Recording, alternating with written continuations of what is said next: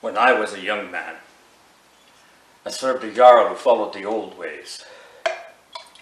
His son followed the Christian God. When his father died and he became Jarl, he gave all of us a choice.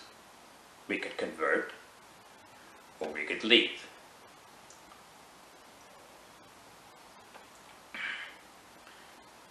He was an honorable man. Those of us who chose to go, he rewarded well for our years of service. But we could not stay. I traveled down to Miklagard, what you call Constantinople, and I joined the Varangians. The Emperor doesn't care who you worship as long as you can fight. And I did.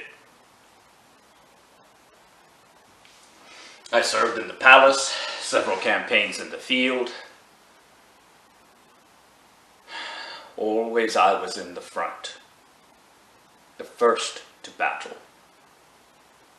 I won fame, glory, gold, women.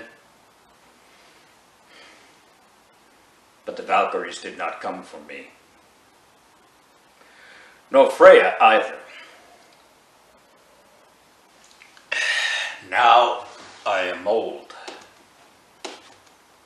and I decided to return to the north.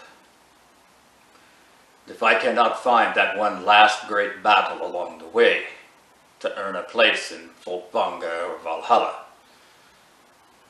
at least when I die, I can be buried in my homeland.